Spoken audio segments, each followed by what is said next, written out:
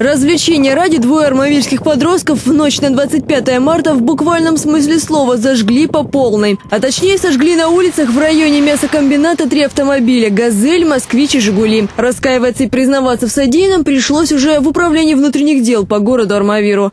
Первым подожгли шестерку сначала, красного цвета. Потом? Потом пошли копейку поджигать. Захотелось, скучно было. Адреналин почувствовать в крови. Одна из машин это принадлежит, скажем так, соседу одного из этих молодых людей. О том, что эта машина принадлежит ему, он узнал только здесь уже. И при этом нисколько не расстроился. Я раскаиваюсь, то, что не будет такое больше повторяться. Около пяти часов утра, когда в дежурную часть поступил звонок от жителей района мясокомбината с информацией о возгорании автомобиля, было решено незамедлительно принять меры. Позже звонки поступили еще от нескольких погорельцев. В настоящее время с ними работает следователь, оперативные сотрудники.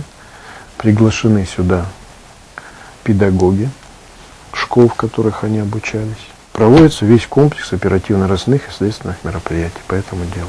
16-летний задержанный утверждает, что поджигали машины просто при помощи спичек и бумаги. За содеянное парень легко готов понести наказание. Видимо, не до конца осознавая серьезность своего поступка. С улыбкой рассказывает он полицейским о своем увлечении. Помимо этого рэп пишу. Да, очень хорошие стихи. А мальчишки взяли спички, к трем машинам подошли, три машины подожгли. Возможно, эти стихи никогда не попадут в сборник молодого рэпера. А он сам, как и его 15-летний друг, в полицию за поджог, надеются сотрудники правоохранительных органов.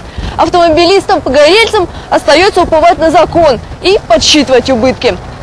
Юлия Чернышова, Данил Руденко, служба новостей Армавира.